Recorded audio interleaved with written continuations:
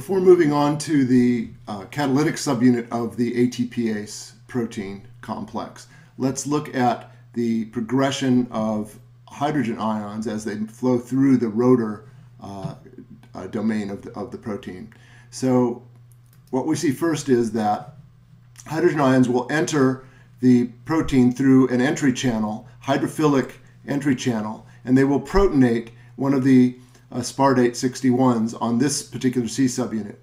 And then that C subunit will carry that proton around the ro- uh, around as the rotor spins until it achieves this position.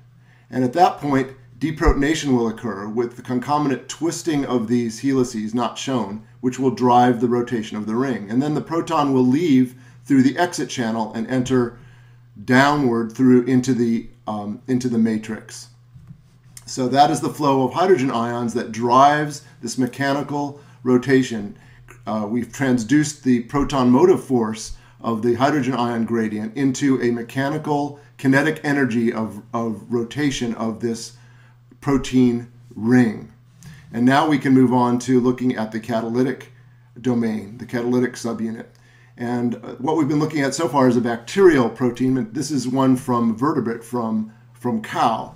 And here we have the central axle, uh, and the rotor would be above, we're not showing it. And here is the catalytic F1 domain, which consists of six subunits, as we'll see. The central stalk of the axle projects deeply into the, uh, the catalytic subunit here, and there are three subunits in that stalk, in the axle in the stalk. And here are the six subunits of the F1 catalytic domain. Only three of these, the yellow ones, are actually catalytically active. The red ones are not. And you can see that this axle, the gamma uh, subunit of the axle, projects deeply into, excuse me, the catalytic domain. Now what happens is, is that as the rotor spins, uh, as the rotor above spins, this axle is linked to that and also spins. The, these subunits will not spin in, in, because they are held in place by a stator that we talked about that is not shown in this crystal structure. But that rotation of the axle inside of this F1 complex will cause a change in the catalytic subunits and they move they have three states they have a loose tight and open um, conformation. And they, the, the transition between those conformations is driven by the rotation of the axle. So let's look at this one down here. It was just in the open conformation. Now as this rotates, it will move to the loose conformation. And as this rotates more, it will move into the tight conformation. And that is true for the other catalytic subunits as well. As the axle rotates, these will transition. And those transitions correspond to the binding of ADP and inorganic phosphate. The catalysis of ATP phosphorylation, phosphorylating ADP to make ATP, and then the release of ATP into the matrix. That's what those three conformations correspond to. So now we understand how the flow of hydrogen through the rotor domain causes provides mechanical energy, kinetic energy that is transduced to drive the endergonic reaction of phosphorylation of ADP to ATP. It's a wonderful machine. This the ATP the ATP synthase is a wonderful molecular machine that achieves this amazing um, catalysis based on uh, transduction of chemiosmotic potential to kinetic energy, and then finally to chemical energy in the form of ATP. Now, we can do a little calculation here. And that's, uh, we'll do that in just a second here. We'll, we'll do an accounting that, uh, of the hydrogen ions and the ATP produced that will show how there are approximately four hydrogen ions that need to flow through the rotor in order to produce one ATP. We know that the rotor rotates 360 degrees. If we're looking down on it, there's a 360 degrees 360 degree rotation of the rotor. Let's do that again. So we have a 360 degree rotation of the rotor. And we know that there are 12 subunits. 5, 6, 7, 8, 9, 10, 11, 12 subunits. So each hydrogen ion that flows through and is carried around the, the, this ring rotates the ring in 30 degree increments. So there's 30 degree rotation per proton. And we know that one 360 degree rotation of the rotor will drive a 360 degree rotation of the axle, which will then cause the production of three ATPs, one per each catalytic subunit, three catalytic subunits down here. So if there are 12, um, if, the, if there are 12 subunits, that is 12 protons being carried around, and there are three ATPs produced per ro full rotation, then we know that we must have four hydrogen ions flowing into the matrix per ATP produced.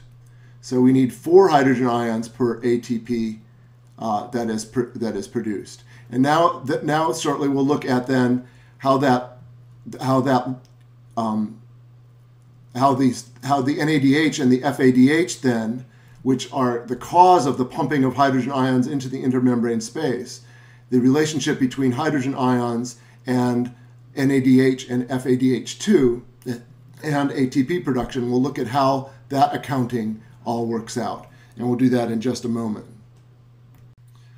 All right, then we've seen how this wonderful, beautiful molecule, the ATP synthase molecule, uh, manufactures ATP.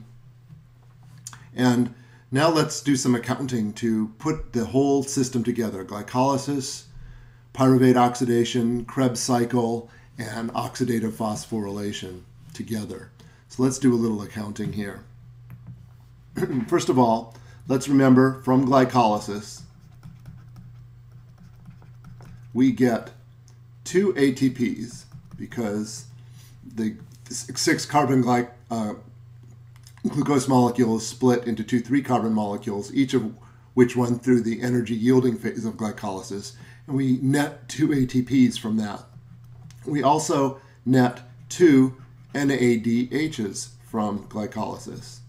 And then for every molecule of glucose, so this is per glucose oxidized from two times the pyruvate oxidation because we will have two molecules of pyruvate. We get two pyruvates out of this. Two molecules of pyruvate will run the pyruvate oxidation twice. We know that we get two NADHs out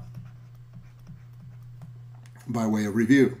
And from two, sites, two turns of the Krebs cycle, we know that we get, that's two times of the Krebs cycle per glucose oxidized because we'll have two acetyl-CoAs that bring carbons in from uh, ultimately glycolysis into Krebs. From two times of the Krebs cycle, two turns of the Krebs cycle, we get six NADH. We get two FADH2s, and we get two ATPs. Very good. All right, so that's what we have produced. Now let's look at what all the ATPs produced to this point. These two ATPs and those ATPs were produced by substrate level phosphorylation, not oxidative phosphorylation. Now let's look at what happens with our electron carriers in terms of oxidative phosphorylation. So we know that every NA, if we have a single NADH that contributes two electrons and a proton, to the electron transport chain,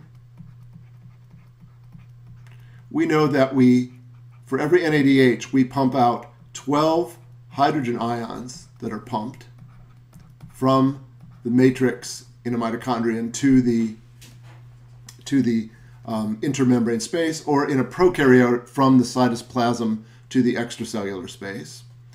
And that yields three ATPs. And if we have one at FADH2 molecule that contributes electrons to the electron transport chain, that yields, that pumps eight protons out, and that yields two ATP. So every molecule of NADH yields 3 ATP through oxidative phosphorylation, and every molecule of FADH2 yields 2 ATP through oxidative phosphorylation. So now we can add up our ATPs. So if we have, if we look at the ATPs produced by NADH, well, how many NADH do we have? Let's add them up. We have six produced at Krebs, two at pyruvate oxidation, and two in glycolysis. So we have 10 NADHs produced in this process of, of glycolysis and respiration.